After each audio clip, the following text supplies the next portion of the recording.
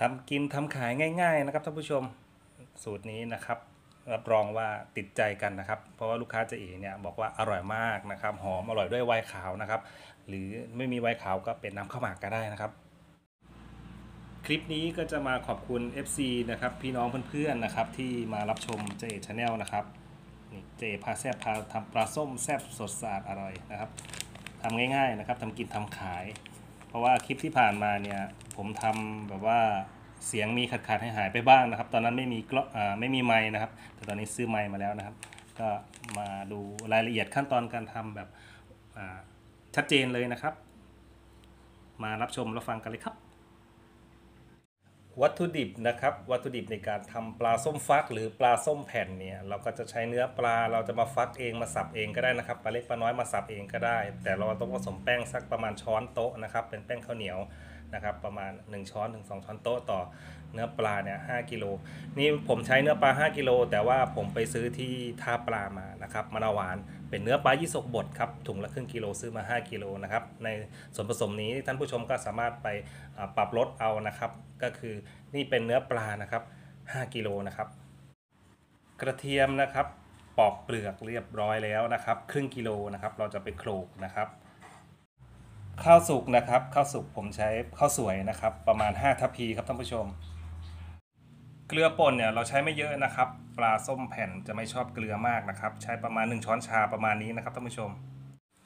ส่วนโอมามิหรือผงปรุงรสเนี่ยผมจะใช้ประมาณ 5 ช้อนชานะครับใช้ 1กิโลต่อ 1 ช้อนชา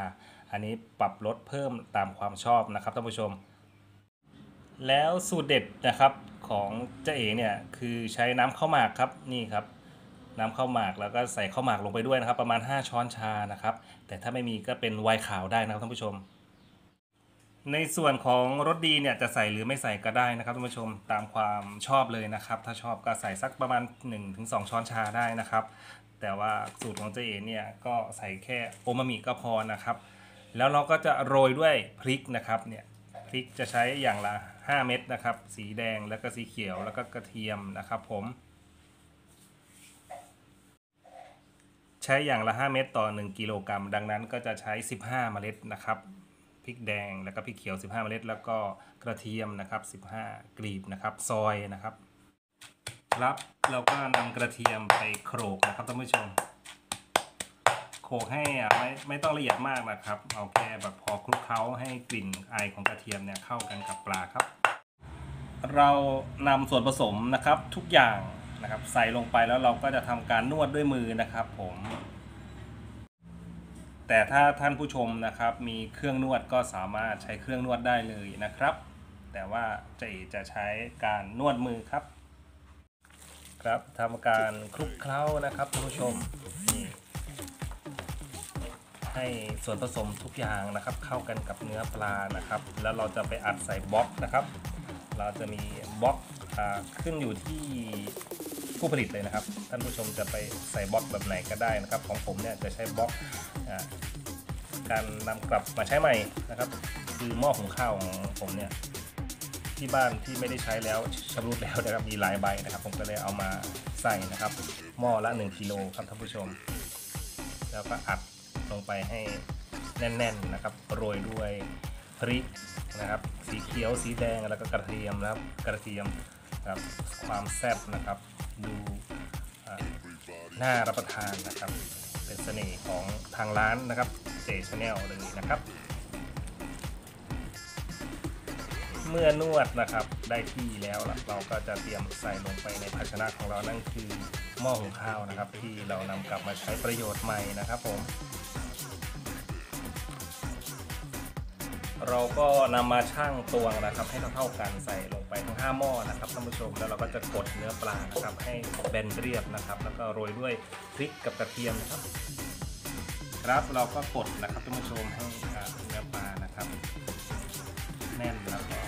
อยู่ในบล็อกนะครับ เราจะได้ การตัดนะครับหนึ่งคืนนะครับทิ้งไว้หนึ่งคืนเราก็จะมาตัดนะครับ แต่ว่าถ้าเราต้องการาไปขายเร็วๆเนี่ยเราสามารถตากแดดแค่ชั่วโมงสองชั่วโมงแล้วก็มาตัดได้เลยนะครับนี่นะครับเมื่อเรียบแบบนี้แล้วนะ เราก็จะทำการใส่พริกนะครับ กระเทียมเนี่ยโรยลงไปนะครับท่านผู้ชม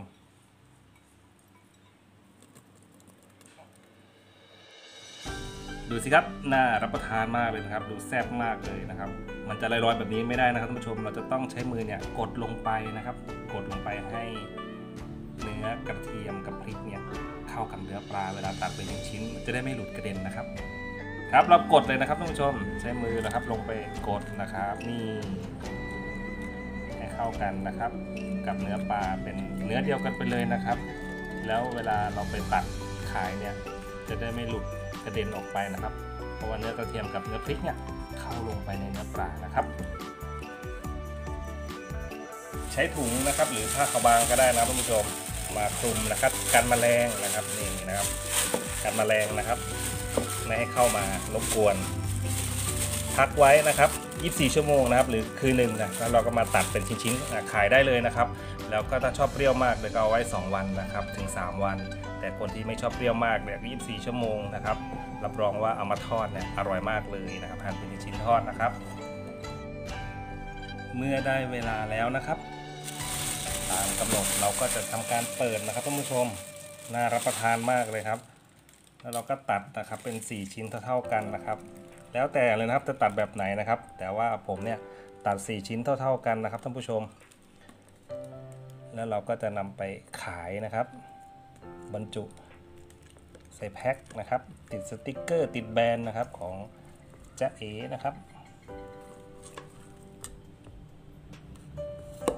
นี่นะครับ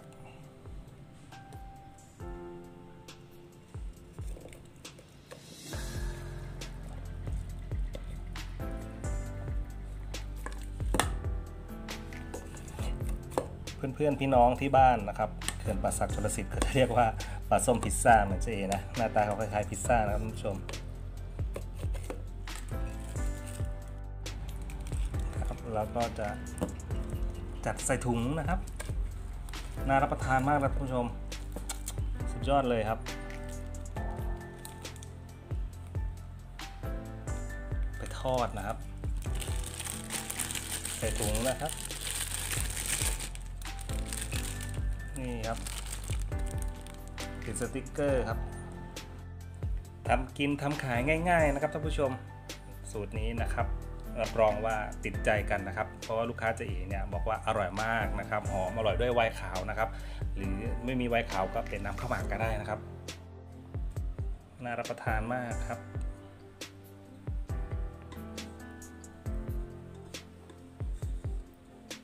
แซ่บนะครับสูตรนี้นะครับไม่ห่วงสูตรนะครับ ลิปนี้ก็จะมาขอบคุณ FC นะครับพี่น้องเพื่อนๆนะครับที่มารับชมเจ Channel นะครับ